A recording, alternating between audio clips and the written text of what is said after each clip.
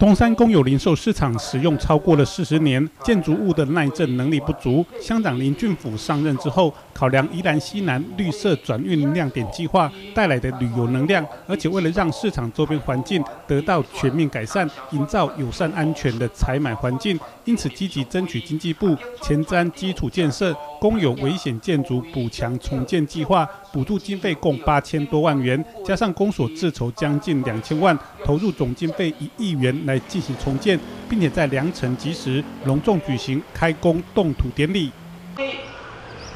再上香拜，三上香拜。一餐祈求福成开工顺利，吉祥如意。第二餐祈求福成动土平安，工程圆满。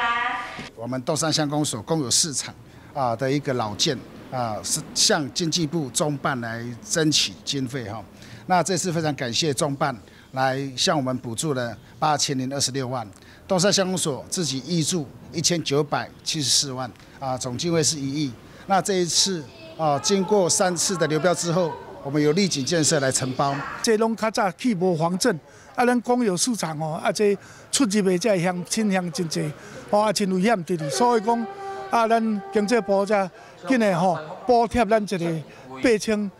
控制十七万，啊，咱公所配合一千九百几万吼，啊，发包三遍啦，因为天下逐项工资起价，吼也无法度，啊，即马咱三楼大约有四百几平。重建的东山乡公有零售市场规划为三层楼建筑物，总楼地板面积为四百七十八平，预计在一百一十四年的上半年完工，一百一十五年开始营运。而摊位规划有十摊九铺，一楼规划贩卖生食，而二楼、三楼则是为熟食区。四百七十八平啊，而这个市场拢总有三楼啊，所以有九摊十铺哈。一楼阮是作为生食，就是咱的蔬果哦、鱼肉。啊，二楼、三楼是作为生、作为熟食吼。咱希望这个市场来兴建了后，会当来提供了咱在地啊所有民众上便利、上现代化的一个民生市场。啊，咱嘛会当来带动了啊，咱东山伫咱绿色亮点转运计划了后，所因周边的整体啊一个新的样貌。啊，所以第一百十四年年中，咱希望来完成；一百十五年来正式来营运。会当互咱的船长，吼啊，过外关之、外国，大家参与真济。啊，规个结构咱袂当改其他或者的吼，或者摆贴的设备，吼，那有意见咱拢通啊以上好的、上先进的，吼啊来做一个上完整的一个啊，咱公有的这个市场安尼。